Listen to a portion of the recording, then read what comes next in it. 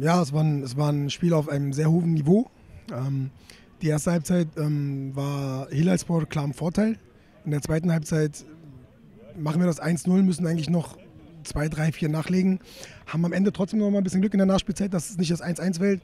Aber alles in allem, großer Platz, guter Gegner. Ähm, hat das meine, meine Mannschaft heute schon sehr, sehr stark gemacht. Ja.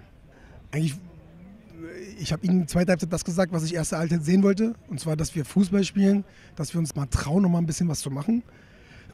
Dass der Gegner natürlich ähm, Fußball spielen wird, das hat er auch gemacht.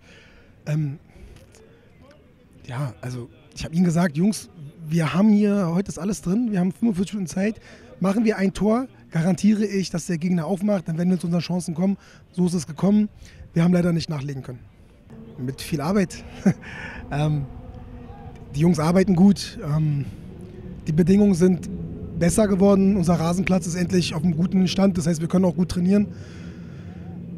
Wir müssen jetzt von Woche zu Woche gucken. Wir haben jetzt ein gutes Polster im Vergleich zu Hilalspor. Allerdings ist Gato noch da. Ähm, ich weiß nicht, was Novi gemacht hat oder was sie jetzt noch machen. Die spielen ja noch. Wir gucken auf uns. Wir müssen den nächsten Gegner schlagen und den Gegner danach und den Gegner danach und dann steigen wir auf. Vielen Dank fürs Zuschauen. Wenn euch dieses Video gefallen hat, schenkt uns einen Like und kommentiert dieses Video. Um kein Video mehr zu verpassen, abonniert unseren Kanal oder ladet euch einfach die KickTV App herunter. Vielen Dank fürs Zuschauen.